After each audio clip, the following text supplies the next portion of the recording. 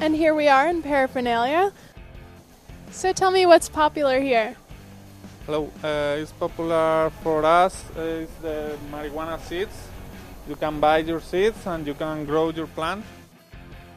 Our name is Parafernalia. Okay, paraphernalia means the all the things that you can need for the weed. For example, grinders, okay, uh, pips, crystal pips, boot pips.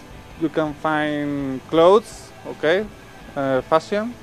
You can find the jackets, Rasta jackets, and t-shirts, and all kind of papers. And we have a online shop.